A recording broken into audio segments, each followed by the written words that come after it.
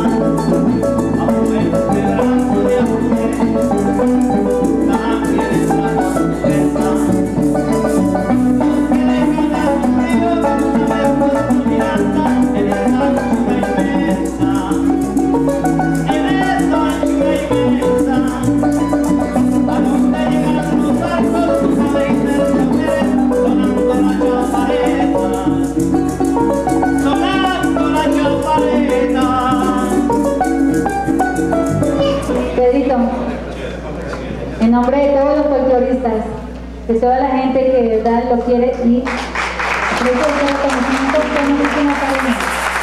De verdad que esto merece más, pero con humildad y sencillez le hacemos este reconocimiento, Pedrito. Muchas gracias.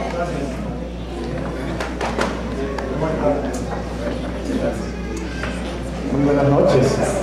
Para todos, qué gusto poder estar en este evento tan importante eh, para la música llanera. De verdad que es una gran alegría poder estar disfrutando de este homenaje que se le hace a nuestro gran amigo Pedro, porque realmente lo merece, es un hombre de una constancia tenaz. De verdad que sostener un programa no es fácil, todos lo saben, y menos en los, en los tiempos que tenemos ahora.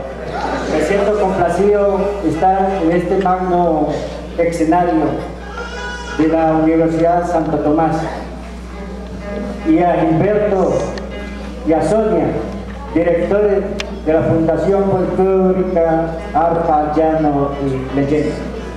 Y a todos nuestros compañeros, amigos, folcloristas, Maestro Abdul, Maestro Manuel Orozco, Danalino, Maestro Inaí Castañeda, Mayor del Ejército Nacional, Óscar Anzola, natural de Arauca, nuestra capital, nuestro departamento.